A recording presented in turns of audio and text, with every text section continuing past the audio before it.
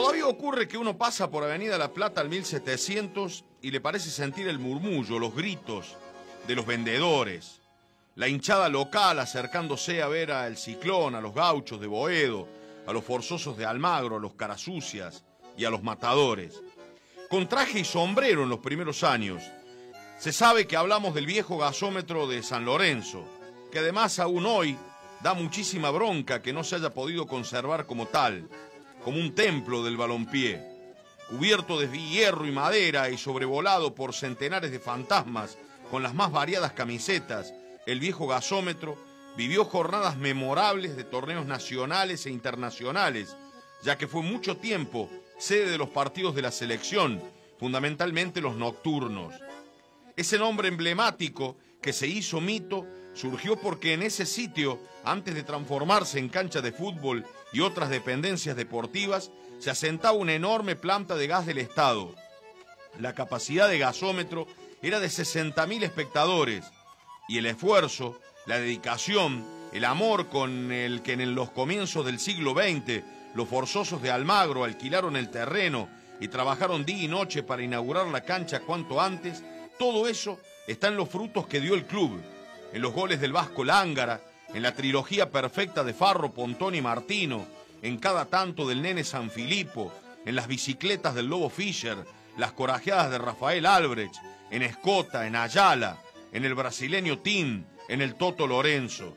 Mayo de 1916 se inauguraba el querido Estadio de Avenida La Plata, un reducto único e irrepetible que en sus primeros años de vida se convirtió en escenario de grandes eventos deportivos nacionales e internacionales, partidos de la selección argentina en los viejos sudamericanos, peleas de box, entre otras actividades. La bella historia, los gritos, los clásicos contra Huracán, las habituales victorias frente a Boca Juniors y las alegrías y frustraciones propias del fútbol mismo. Desde 1933, cuando el primer campeonato pasando por el gran conjunto del 46, la delantera del 59, con Facundo, Ruiz, Omar Higinio García, San Filipo y Bollo, las diabluras santas sin campeonatos de Arián, Beira, Doval y Casa, Rendo, Coco, Beglio y Fischer matando rivales, la maquinita del Toto del 72, el sorpresivo 74 con su beldía y no más. Los hierros y las maderas, el viejo césped y los arcos ya se miraban con esa cara de desalojo, de fin de existencia visible, de lágrimas por salir. Y el último acto se produjo un 2 de diciembre de 1979, la escena final del gasómetro, con los maderos llorando.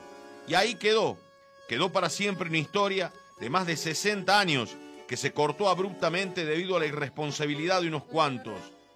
Dicen que cuando uno va al lugar, en el negocio enclavado y por ahí, las góndolas murmuran, las mercaderías cuchichean.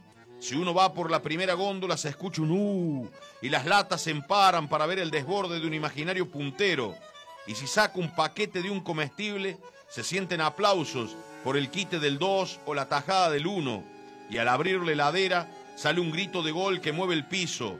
El gol es de San Lorenzo y fue hecho en ese lugar donde ahora está la caja, en donde antes estaba el arco y un día fue basta para el gasómetro, el viejo estadio de Avenida La Plata, ese en el que el corredor que separaba la cancha de las tribunas se montaba con un escenario donde actuaban las famosas orquestas de tango, jazz y otras atracciones de los populosos bailes de carnaval.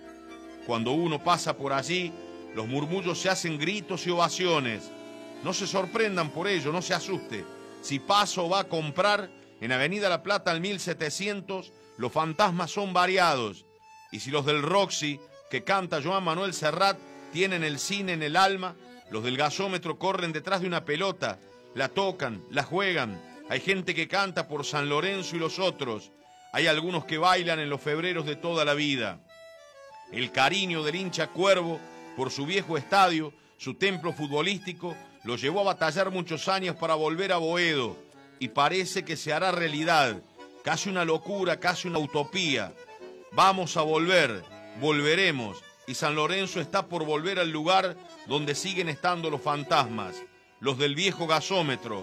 No habrá ninguno igual, no habrá ninguno. De subir tablones de a uno, de a dos, mirar avenida, la plata de arriba, ver pasar la vida.